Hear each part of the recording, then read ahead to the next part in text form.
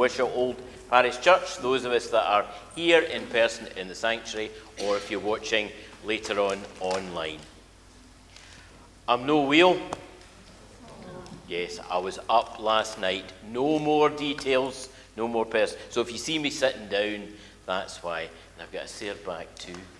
Eh? Let's just think of all those lovely ailments that uh, those of us who reach a certain age suffer from and Thank, thank the Lord that we are here in church today, sharing in God's word and sharing in his message. Let's just have a moment of quiet before we begin our worship this morning.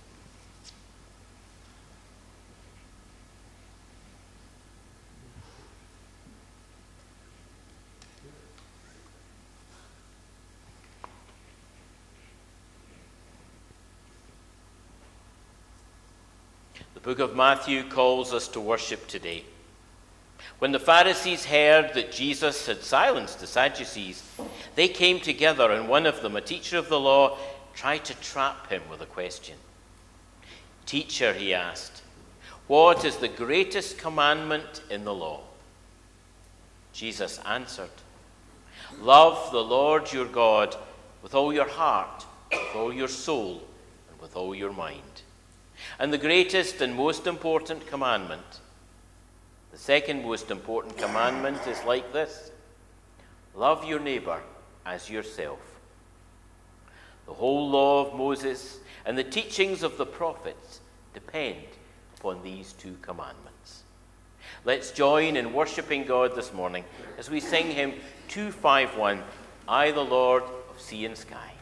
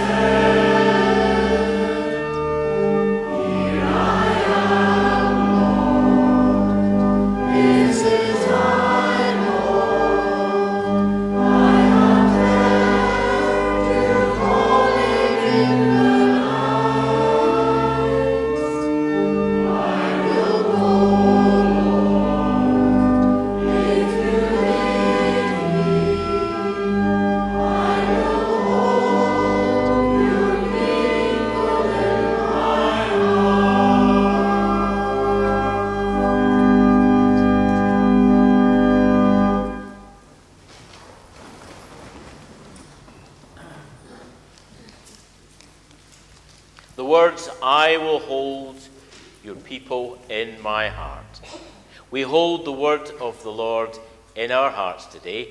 We join our hearts in prayer. Let's join our hearts in prayer now. Lord, we gather in worship today to seek and experience thy holy presence, to be filled with your light and love in a world that often seems purposeless and empty. Lord, we seek the sense of the divine. Let us marvel at thy creation with the many patterns and shapes and colours that foster a tapestry of wonder. Lord, we give thanks for the diversity of nature, from the smallest of bugs and microbes to the awesome views of the fjord and the complexity of the rainforest. Living God, may we appreciate the beauty of our own gardens, the spaciousness of our local parks, cherishing the part that we too can play in stewarding the environment and in being ethical in the choices that we make in our lifestyle. For, Lord, out of darkness, you are light. Lead us to be good citizens of this planet and cherish it. Living God, lift any weariness, dispel any doubt, contain any anxiety, for you are the living water Refresh our spirits each hour. Refresh us with the warmth of the sun's rays, with the playfulness of words and songs, in the sharing of laughter and amusement with friends and family this summer. Forgive us, Lord, when we forget and omit your presence. For you are the breath of life, the gateway to sanctuary. You are the true vine whose roots are deep in the well of faith. For Jesus gave us these words I am the way, the truth, and the life. Keep us, Lord, on the right moral pathway. Support us when we tire. Gently nudge us when we fall asleep in our faith. And walk hand in hand with us when we are facing struggles and in pain. Lord, in this moment of quiet, we bring to you our own thoughts and prayers.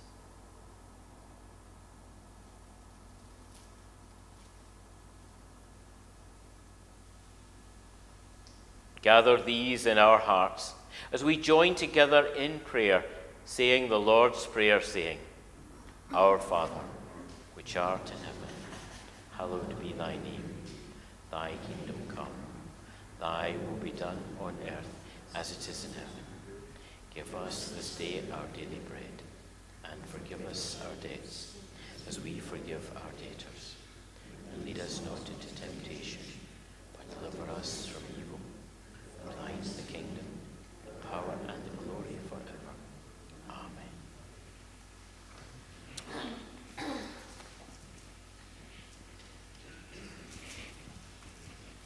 Over the last few weeks, we've been having a, a little bit of fun with our, a few quizzes, and I thought before we have our, our joint service, we'd, we'd have our, our, our, last quiz. And I thought, oh, well, we, we, we had finding God in nature, finding God in plants, finding God in the seasons last, year, uh, last week. But sometimes we can only glimpse what God is like.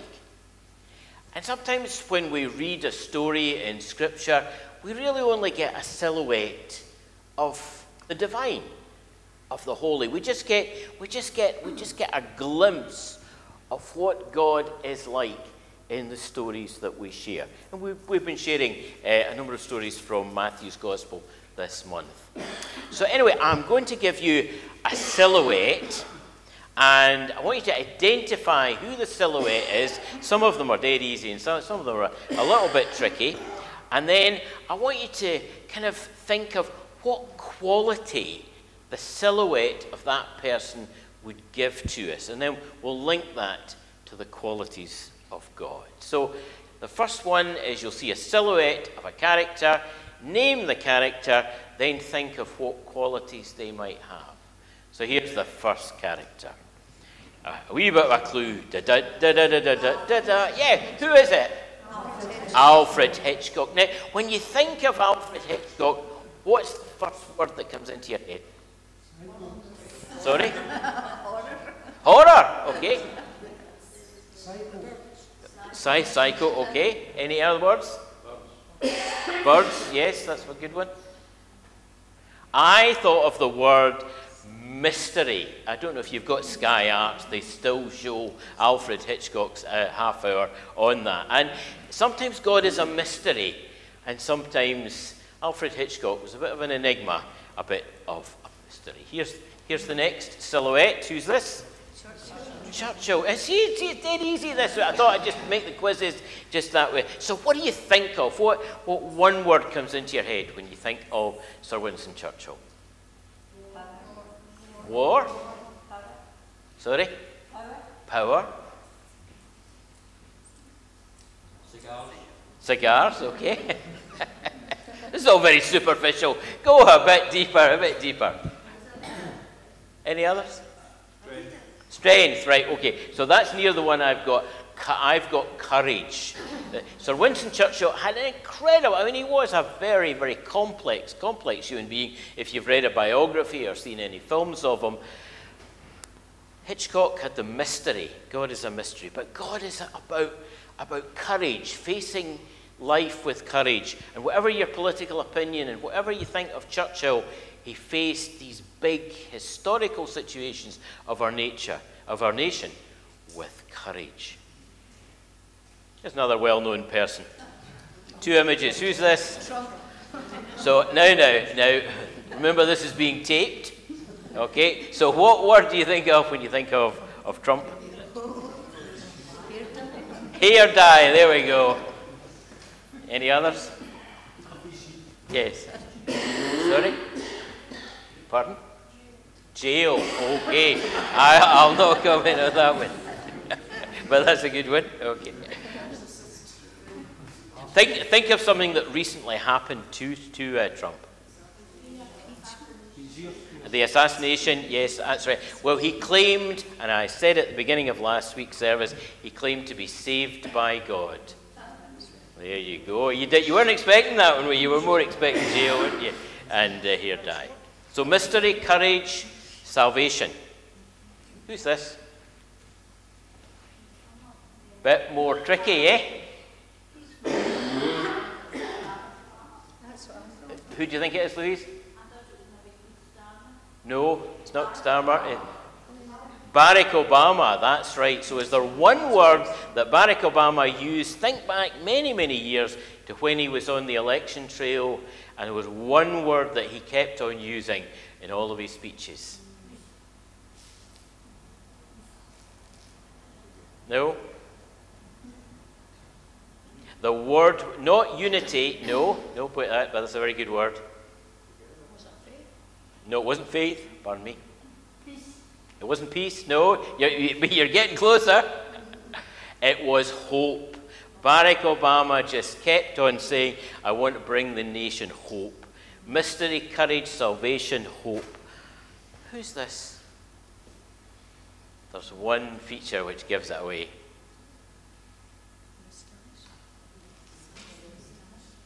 Poirot? No, oh, that's a very good guess, but it's not Poirot. No. But you've got the feature. Not Gaudi, but you're, you're in the right area. Salvador Dali, very, very well done. 10, 10 out of 10. And when you think of Salvador Dali, what do you think of? Painting, Painting yes. Sorry? Oh, faith, okay. I was thinking of creativity. You've ever seen any of Salvador Dali's paintings? They are incredibly creative. He was a very, very odd person, but creativity was certainly going on in his. So we've got mystery, courage, salvation, hope, creativity. Here's a bit of an easier one. Mary Poppins, what do you think of? Burst into song. No, not supercalifragilistic. Think of the other one. Feed the birds. Not feed the birds. You're, you're making this too difficult. What's the most famous one? Spoonful of sugar. There, there, there you go. Someone that makes the world go right. I know she's a fictitious character, but God is there to make the world go right. A bit more of a tricky one. Yes, well, that's right. It's not really tricky. It's actually St. Nicholas, Santa Claus. What would somebody younger think of when they think of Santa Claus? Present. Well, they've given you the answer. Gifts. God gives us a great gift. The great gift or present. Okay. We're near the end. Trifle more tricky. It is a dove, yes? Peace. Say to me. It is. Give her a wee clap there. It is the Holy Spirit, yes? Well done. So there's two aspects of the Holy Spirit that that silhouette shows. I think somebody said it. What does it look like?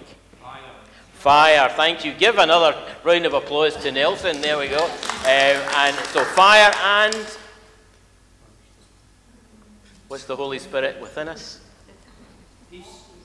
Yes, peace and love, that's, the, that's right. So, all these silhouettes are there to give us a glimpse of God mystery, courage, salvation, hope, creativity, that spoonful of sugar that we all need, gifts, fire, and love. And they are they're all wrapped up in the silhouette of our Lord Jesus Christ, every, every week we come here to learn about, to share, to worship but above all, to experience the love of Jesus in our hearts. Let's sing now. They who wait upon the Lord. It's a nice, gentle, gentle one, and we're going to sing it through twice.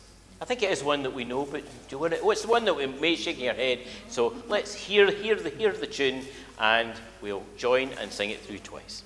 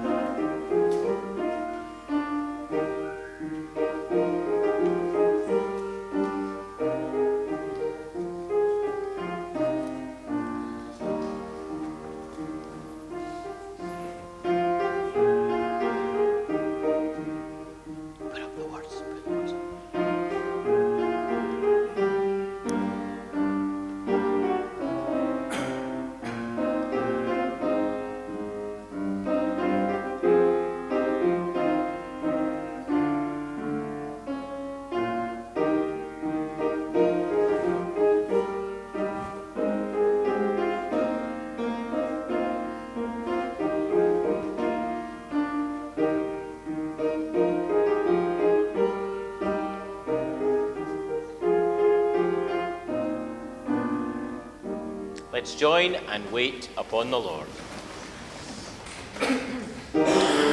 that wait upon the Lord shall renew their strength and mount on eagle's wings. They that wait upon the Lord shall renew their strength on eagle's wings.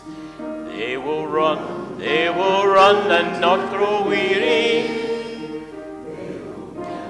they will walk and not be faint.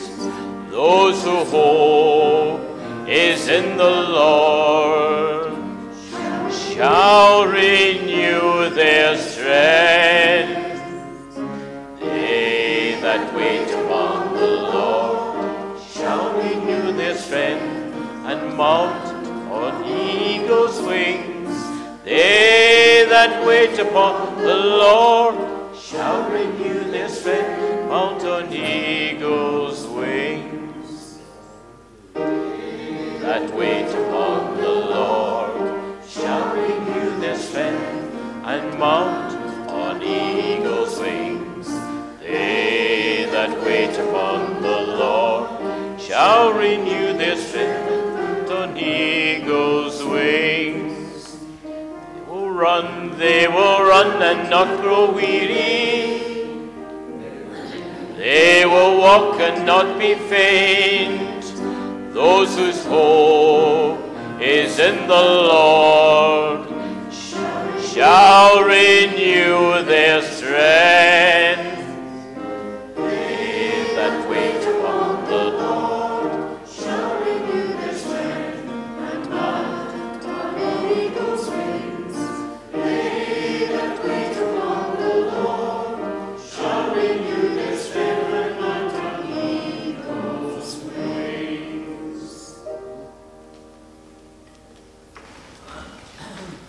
guarantee you'll be humming that little tune all day today. Well, well, we- shall have it again in a few weeks' time and begin to pick. It is a very lovely, reflective one. Thank you to me for, for playing. Our scripture passages continue, and uh, Angus today is going to close our series of passages from Matthew's Gospel, and you'll read from Matthew chapter 21.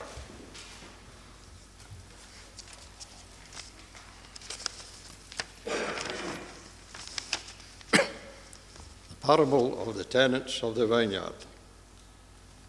Listen to another parable, Jesus said. There was once a landowner who planted a vineyard, put a fence around it, dug a hole for a wine press, and built a watchtower. Then he rented the vineyard out to tenants and left home on a trip.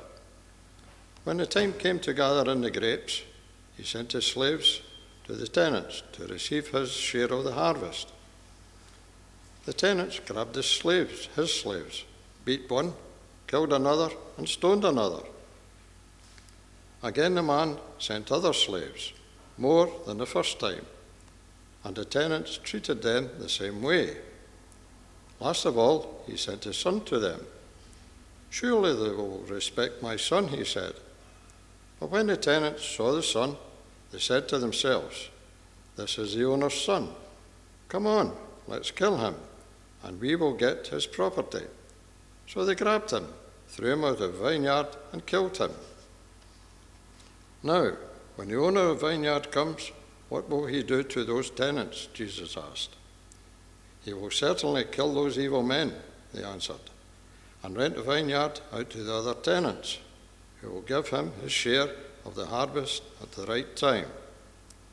Jesus said to them, Haven't you heard, haven't you ever read what the scriptures say?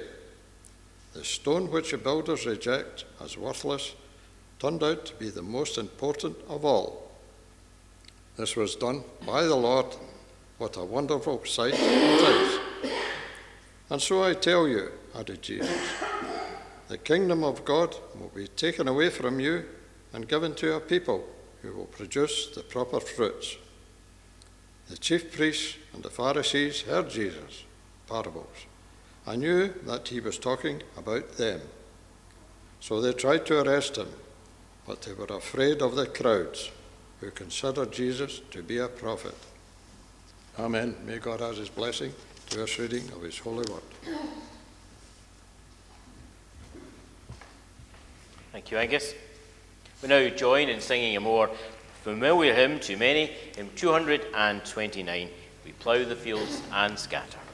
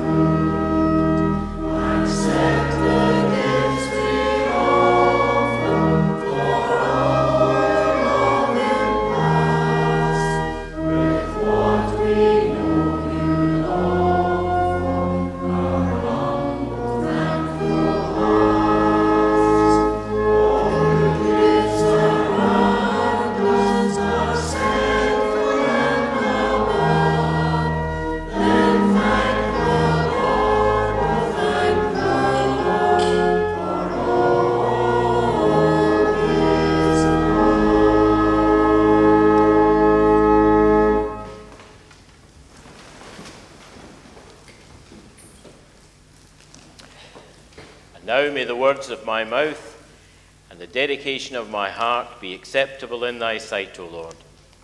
Amen.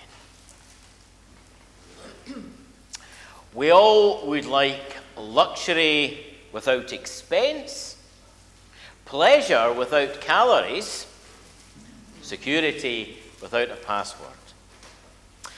The advert says we're building a world where anyone can safely use any technology powered by their identity. We're building a world where anyone can safely use any technology powered by their identity. And the advert goes on to say that this is a world identity company. Well, it's promising you the moon, isn't it? And it says you'll be able to function with complete security. You'll have better costs, you'll be better off, and you'll be part of a global identity. Once upon a time, it was the church that provided the global identity of the world, certainly of the, the known world. If you look at the, the, the, bits in dark red is our very, very Christian countries, the bits in kind of pale red are, are, less, are less Christian, but still categorized as Christian countries. So you see that something like two thirds of the world, uh, or of the known world, the structure and identity of society was provided and grounded in God.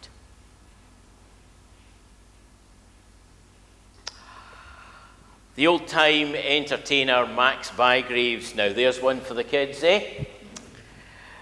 And Max's catchphrase, he would put his hands out and he would go, Let me tell you a story.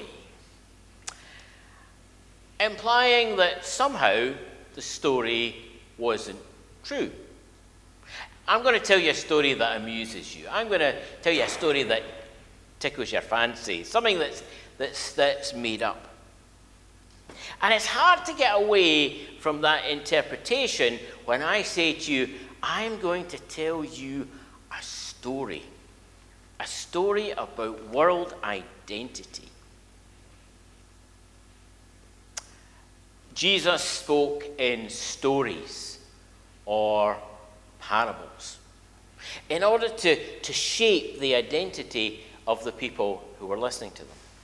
In order to open their imaginations and cause that, that creativity. And most of the parables have one of two expressions. The kingdom of God is like this.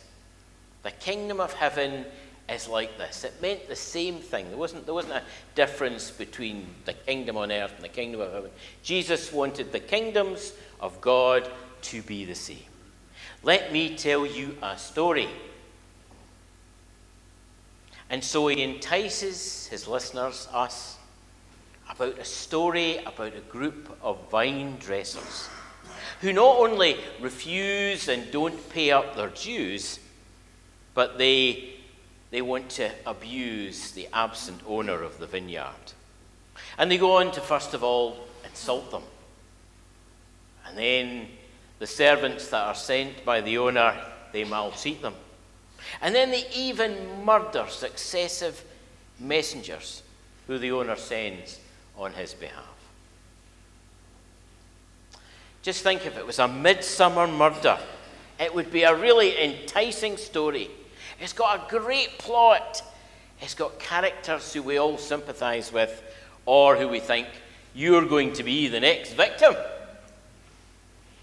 And the climax of the story of the vineyard is, of course, where the heir is sent to the vineyard.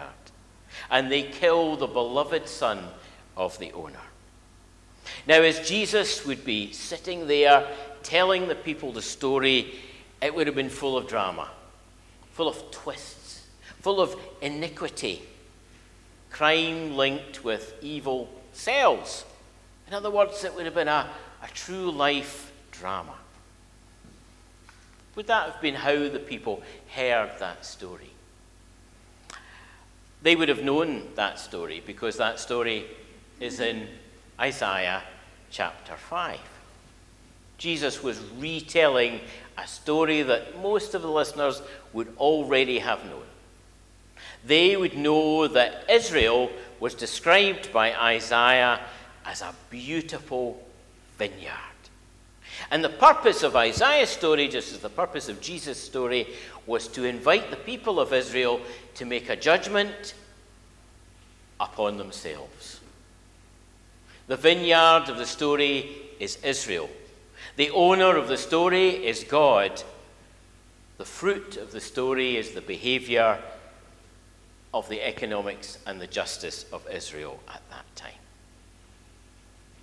So when we think of, of other countries' identity, when we think of, of other countries' stories, what do we think of? If, if I say to you, think about, think about Ireland. If you think about Ireland, what do you think about? You think about the green shamrock. You think about the Blarney Stone and the rolling hills. Or if you think about what's the, what's the identity of Italy? Many of us have been in, to Italy on holiday. Italy, great operatic singers, pizza and pasta, Venetian gondolas. Or what about Norway? There, there, are some of us again have been to Norway. Great forests, fjords, the northern lights. What's the identity of, of Britain? Is it Tower Bridge? Is it the White Cliffs of Dover? Let's throw it out to you. What's Scotland's identity? Nessie. If you were. Sorry? Nessie. Nessie, okay. I'm a believer. Yes, I've been to Loch Ness. So there's a lot of darkness underneath there. Any other parts of our identity? What, what would we say about Scotland? Scenery. Scenery, yes. Beautiful country. Anything else? Bagpipes? Welcoming people. Welcoming people. Anything else? Whiskey. Sorry? Whiskey. Whiskey, yes, that, that's right. I've not touched that yet, John. It's fine. I'm leaving it for a special occasion. So everybody has an identity. We have a global identity. We have a bit of a cliched identity, but we have the identity. And so the symbolism of this well known story for the people of Israel was all about identity. Who are you? But not just who are you, who are you in relation to God, in relation to God's world, God's creation. And in Isaiah's story, just as in Jesus' story, there is a watchtower. And the watchtower was the temple. In the story, there are a fence has made round the vineyard. That was the religious barriers that the temple structure threw up to God. Because remember, the temple originally was a sanctuary, the place where people could experience the divine, experience God.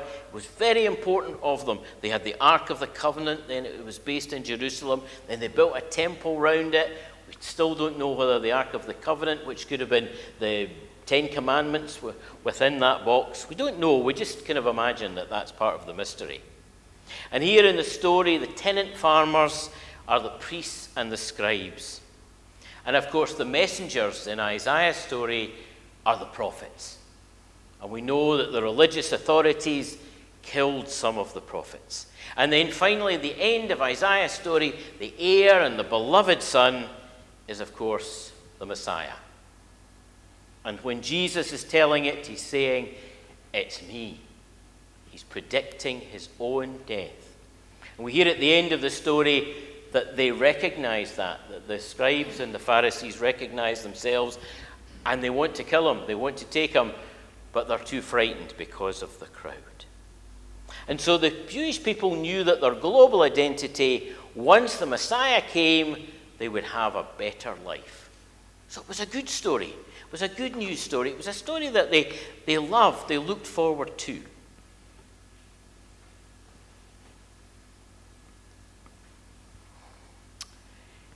And so the promise of the company advert is for security, economic advantage, a better life in a digital world. And that's what we live in today.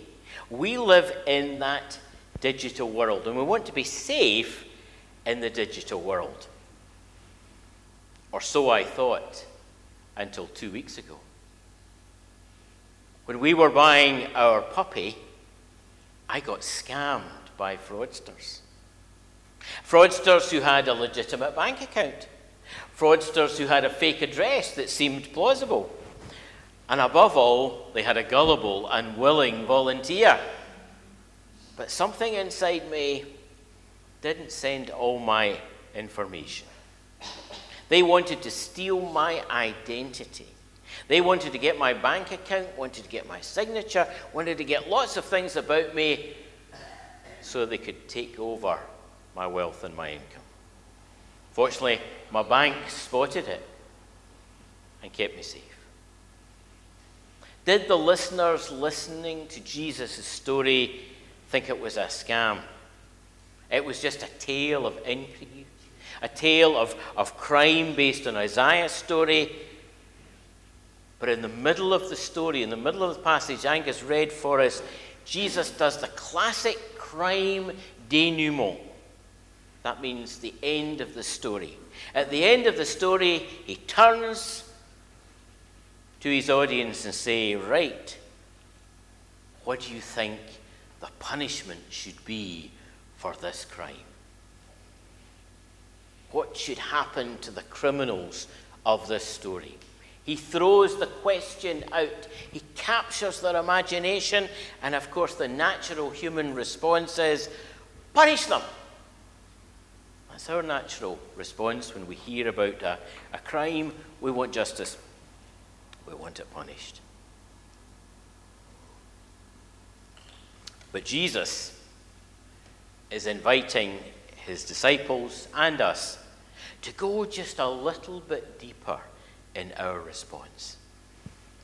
And in Matthew's telling of the story and in Luke's telling of the story, we have the famous quote The stone that the builders rejected turned out to be the most important of all. And in some translations, it, it says, has become the cornerstone. For this building to stand up, for any building to stand up, we need a cornerstone. We need a foundation.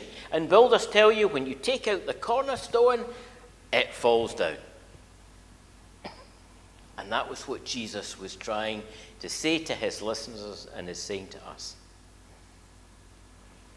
Here's a quote about that global company from a CEO.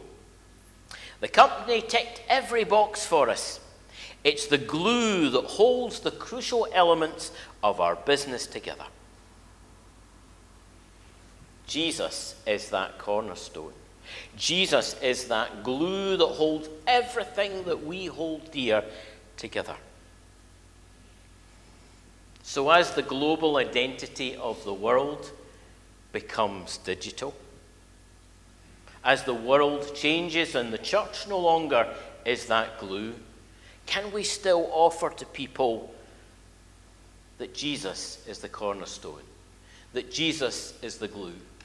As it said, by the Lord had been this done, it is the wonderful in our eyes. That was the end of the quote. And so it was that the priests and the scribes realized that Jesus was speaking about their identity.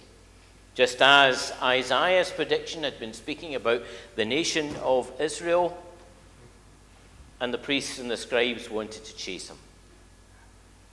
If we look back to that, wor- to, to that map of the world, we know that Christianity is, is getting chased. Jesus is still getting chased.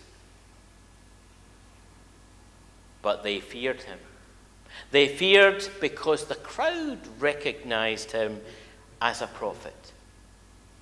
So, as we experience that silhouette of Jesus, as we glimpse from the story of Matthew, as we glimpse from the story that Jesus has told us about the graceful disciple, about the sacrifice needed in discipleship, and above all, about the drawing near of our own identity to that of Jesus Christ. Amen. And we give thanks for the stories of Jesus.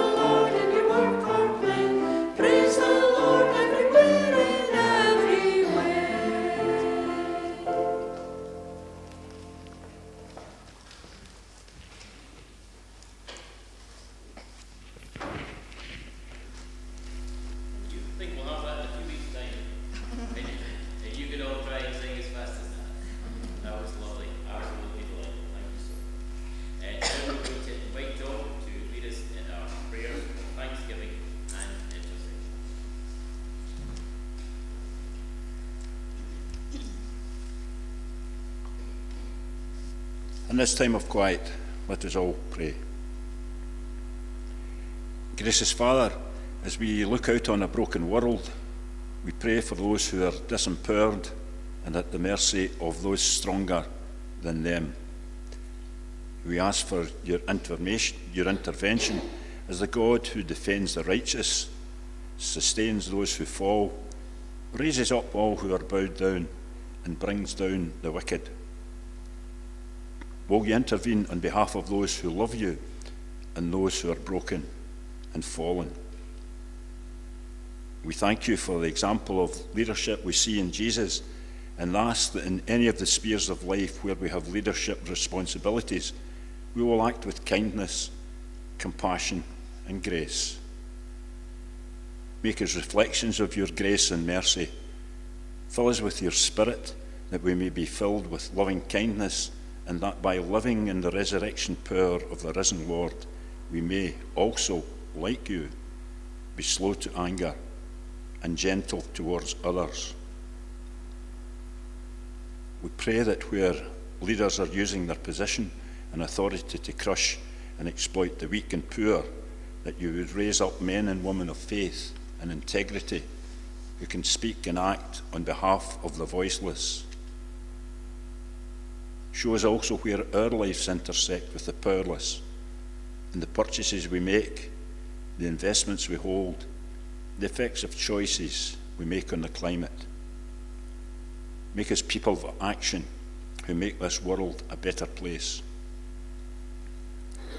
At this time of uncertainty in the church, we pray for all ministers and elders and indeed members that they may discern their call and wish for a mission church, reaching out to the poor, the hungry, the lonely, and the disadvantaged. We remember with grace and compassion those of our number and others known to us who are ill or facing tests and diagnosis before treatment. Grant them peace of mind in these uncertain times. We hold in our prayers the bereaved, and especially at this time, may we encircle the family of our dear friend David Buchanan with that bond of Christian love and comfort. May they all be sustained by the memory of a faithful servant to this church. All this, together with the silent prayers of our heart, we commit to Jesus' name. Amen.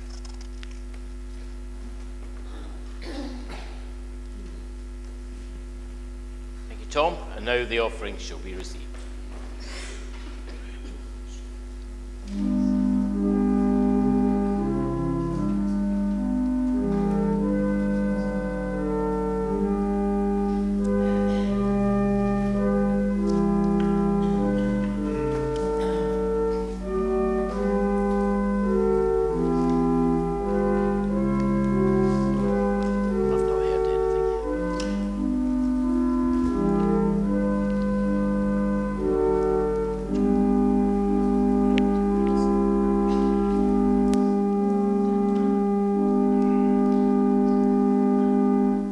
Let us invite God's blessing upon these gifts. Lord God, we adore thee. Come to worship and lay our lives before thee, giving thanks and praise for our life and faith in Jesus.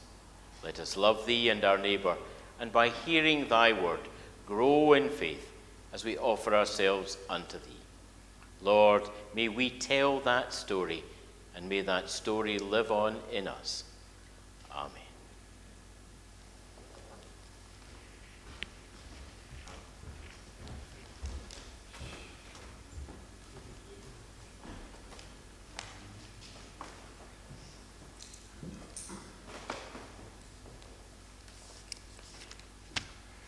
Uh, good morning, friends, and as always, welcome to our service and a special welcome to any visitors sharing time with us this morning. Uh, I do hope that we've all experienced true fellowship through this common worship, whether we're present here in church or we'll be watching later today on the webcast. Please take time, those that are here, to share in wider fellowship in the hall following the service.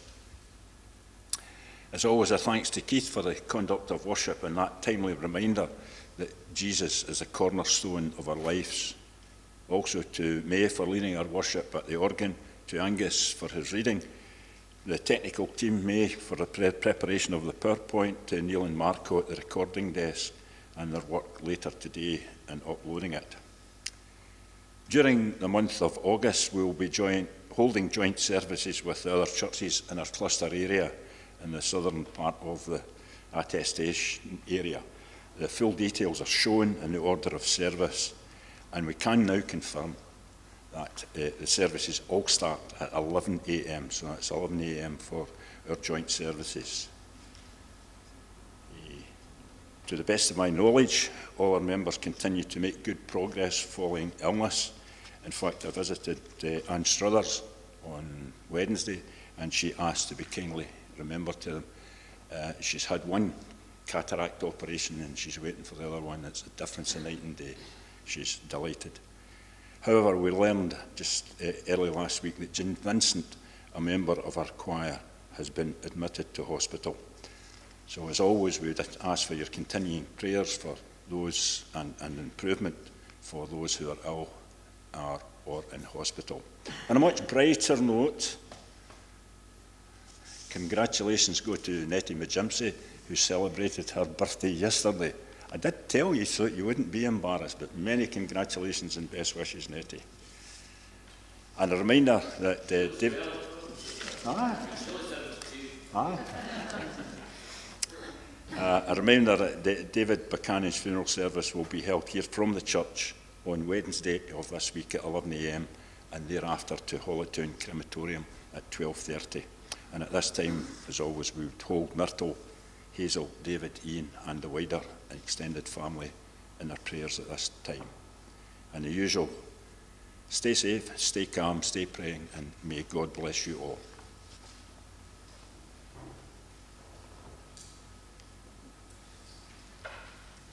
Thank you, Tom. We close our service with hymn 160, Praise My Soul, the King of Heaven.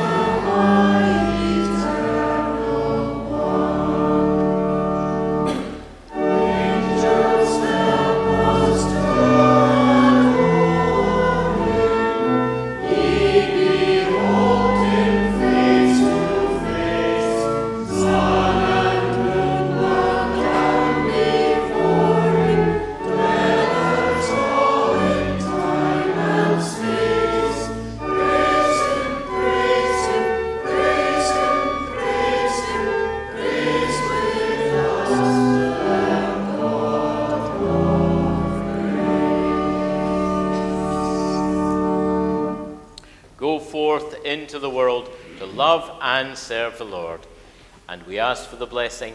In the name of the Father, and of the Son, and of the Holy Spirit.